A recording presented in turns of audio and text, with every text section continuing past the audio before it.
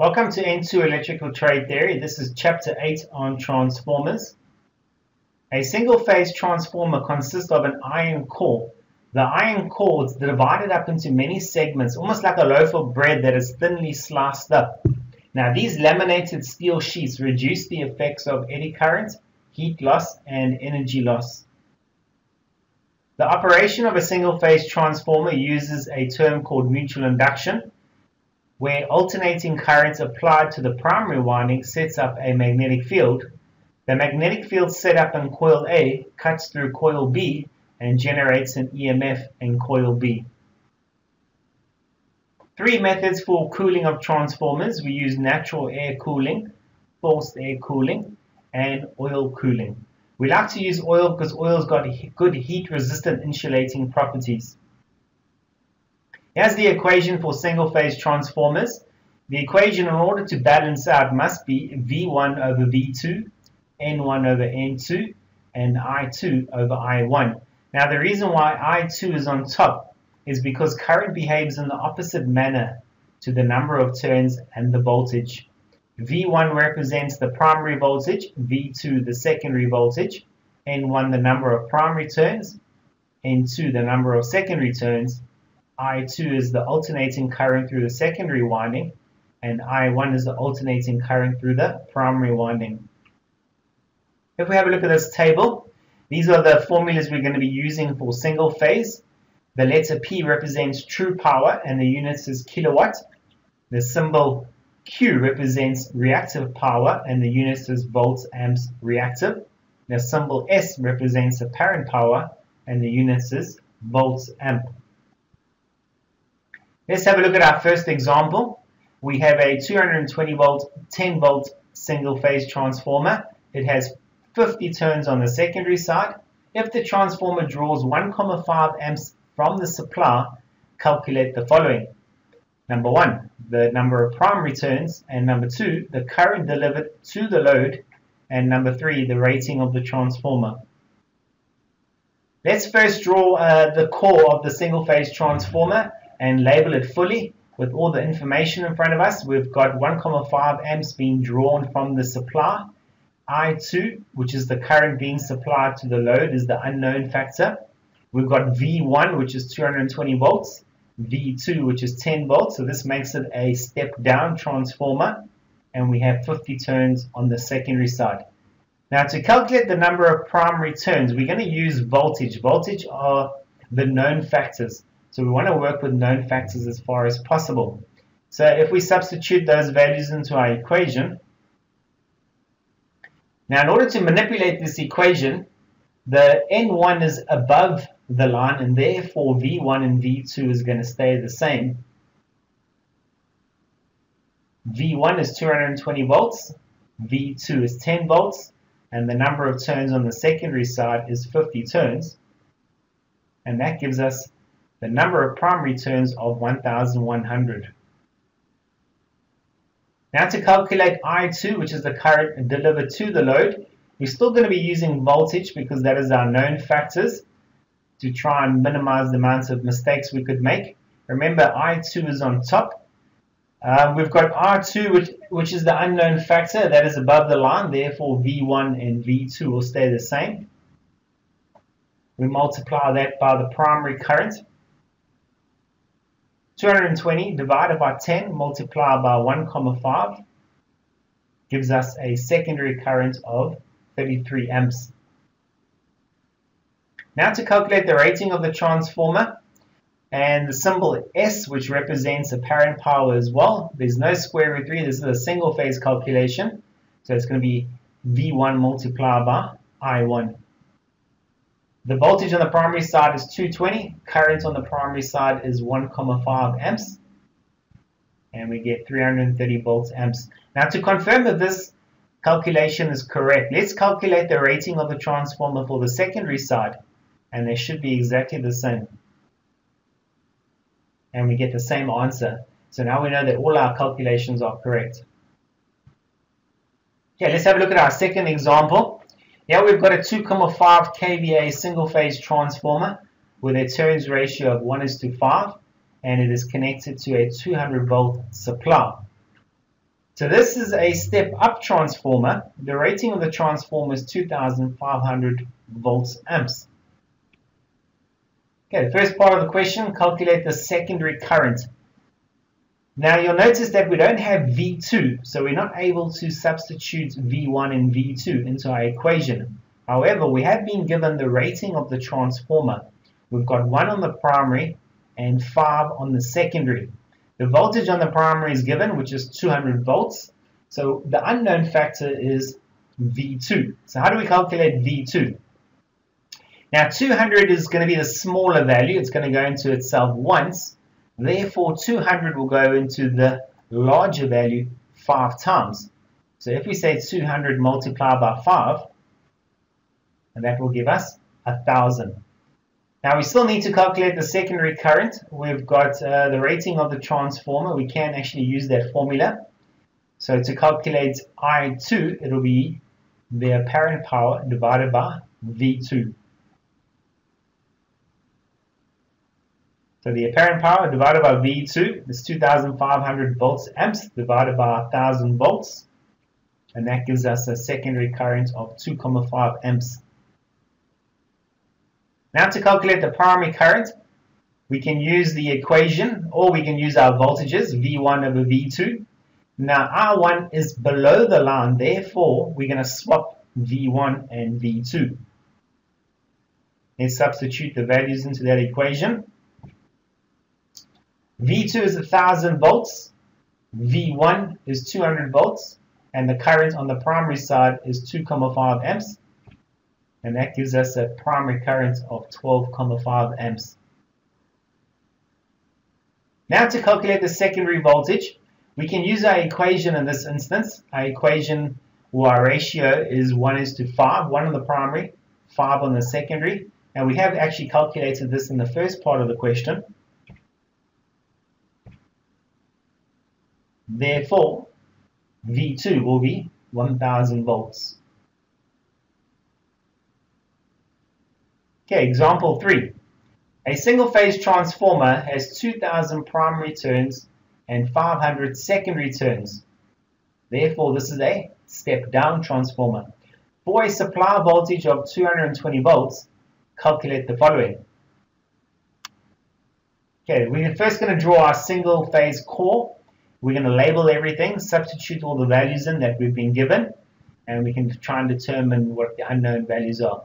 Now to calculate the turns ratio, we haven't been given voltage. Voltage is unknown on the secondary side. However, we do have the number of turns. So N1 is 2000 turns and N2 is 500 turns. 500 is a smaller value and therefore it will go into itself once. How many times will 500 go into 2000? It will go 4 times. So our ratio is 4 is to 1. Okay, to calculate the secondary current, if the primary current is 4,2 amps, so we've been given a bit of additional information here. Current on the primary side is 4,2. Now we're going to use our equation. The number of turns is given, so let's rather work with known values as far as possible. Because I2 is on top, it means that N1 and N2 will remain the same. N1 is 2000, N2 is 500, multiplied by the primary current of 4,2. And that gives us a secondary current of 16,8 amps. Okay, let's calculate the rating of a transformer. Now we can calculate the rating of a transformer using the primary side or the secondary side and we should get the same answer. Now looking at this diagram, we know that we have been given current. Okay, so our voltage is 220 and current on the primary side is 4,2 and that gives us a rating of 16,8 volts amps. What will the output power be if the power factor is 0.8? Now this single phase transformer, we're going to assume it's 100% efficient, which means there are no losses. So we could calculate P1 or we could calculate P2 and we should get the same power. Okay, so calculate P1, it's going to be V1 multiplied by I1 multiplied by the power factor. V1 is 220, I1 is given is 4,2 amps, and the power factor, which is cos theta, is 0,8, and that gives us 739,2 watts. Okay, we're going to move on to the next topic, which is three-phase transformers.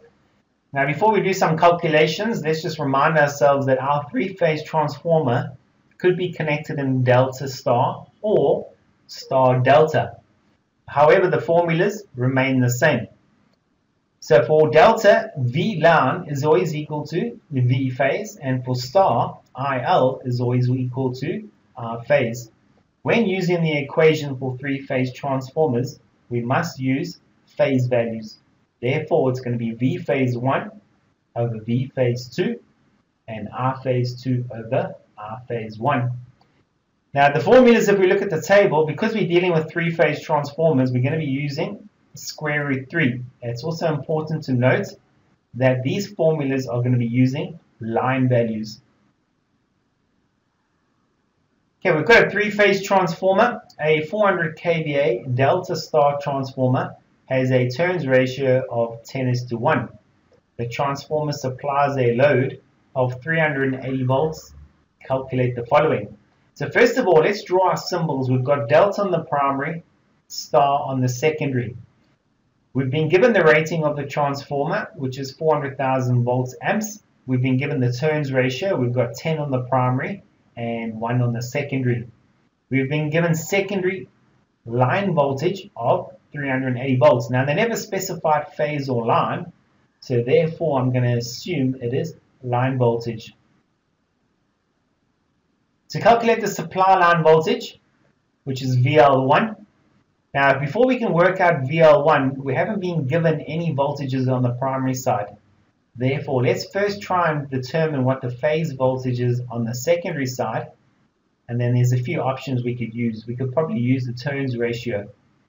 So to calculate V phase 2, on the secondary side, it's star connected. V phase 2 will be equal to VL2 over square root 3.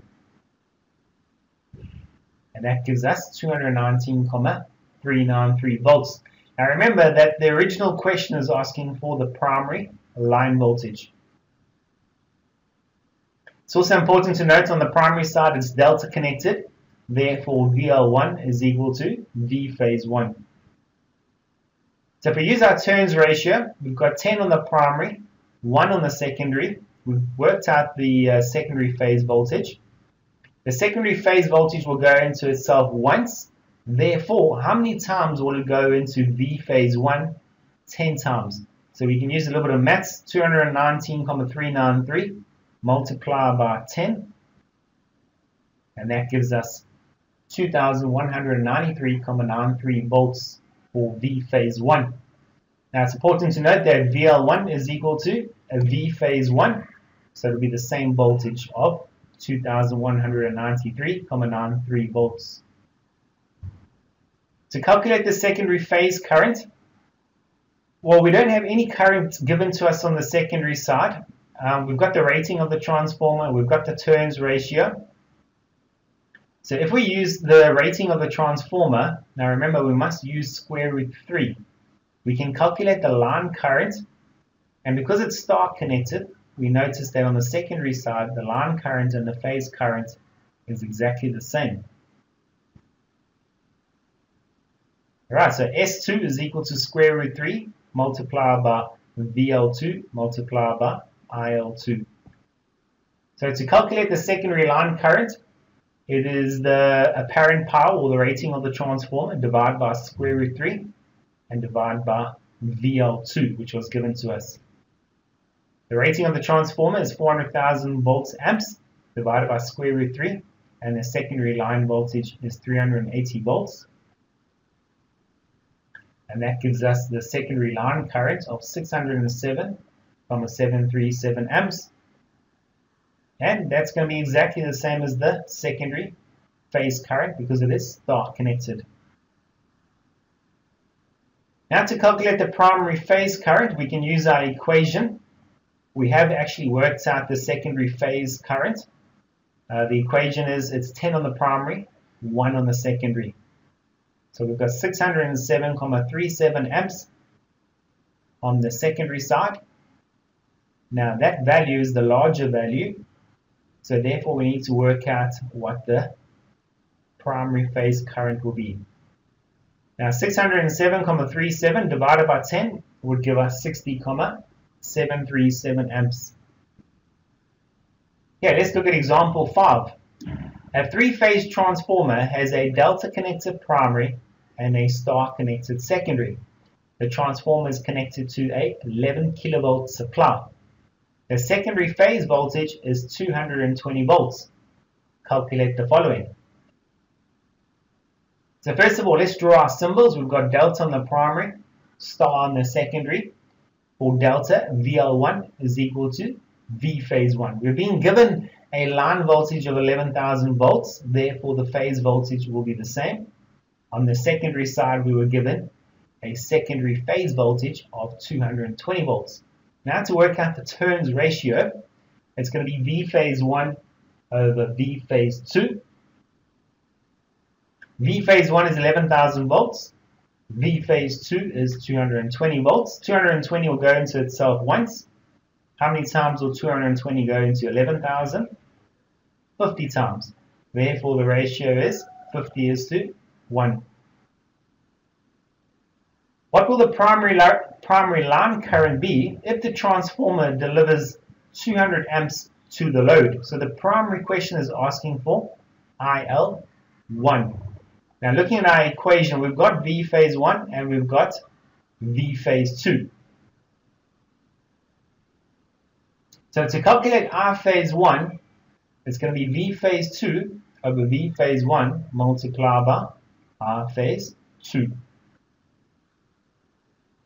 I phase 1 will be equal to 220 over 11,000 multiplied by 200. And that gives us a primary phase current of 4 amps. However, we're not finished yet. Remember the question is asking for the line current. So to calculate the line current, it's going to be square root 3 multiplied by I phase 1. Therefore, the primary line current is 6,928 amps.